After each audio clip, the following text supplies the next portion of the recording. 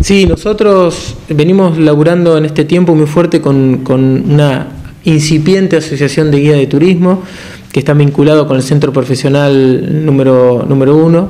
eh, y con la carrera de, de, una carrera especialmente de guía de turismo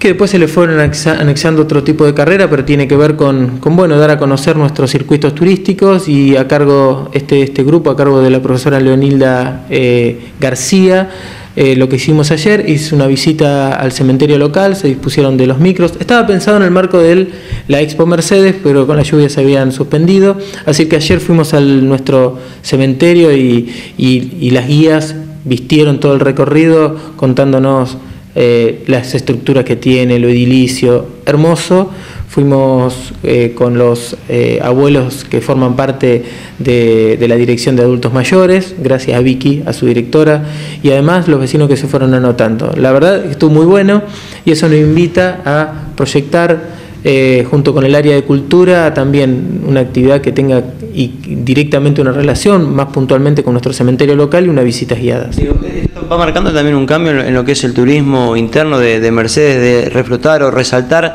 distintos aspectos. Uno sabe que por estas horas también con el tema de los museos se está tratando de, de mejorar lo que es ese carruaje antiguo. ¿Hay una idea de, de cambiar esa impronta? La crisis nos da, la crisis que se está viviendo eh, nos está dando una oportunidad al, al, micro eh, turismo y ahí es donde tenemos que aprovecharnos. Nosotros eh, está la decisión y, todo lo que tenga que ver con cuestiones vinculadas al turismo la estamos consolidando y fortaleciendo. Llámese museos, llámese circuito turístico. Y además, algo para, para resaltar, la semana pasada dentro del marco de la Expo Mercedes se hicieron visitas guiadas con mercedinos y vos te encontrás en el marco de la visita a lo de Cacho de Catarina, que había gente que no lo conocía, que no conocía el, el trompezón, que no conocía eh, el no conocían el observatorio.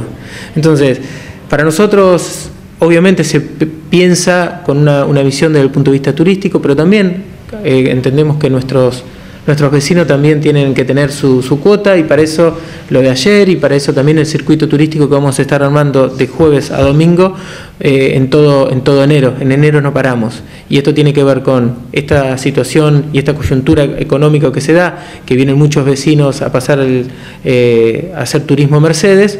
no solamente Tomás Jofrede, sino en Holandia, también invitar a la, están incluidos en, en la oferta que estamos ofreciendo en la Liga Padre de Familia con su pileta, eh, y que en el caso de día de lluvia tengan la posibilidad, o no, un día, un día común, tengan la posibilidad y que sepan que la municipalidad, desde el jueves al domingo, todos los, todos los días, a partir de las 7 y media de la tarde, va a haber un micro que los va a retirar y va a pasar por esos lugares, y aquellos turistas que quieran, quieren subirse y recorrer nuestro, nuestro casco urbano, nuestros diferentes circuitos turísticos, tengan la posibilidad de hacerlo.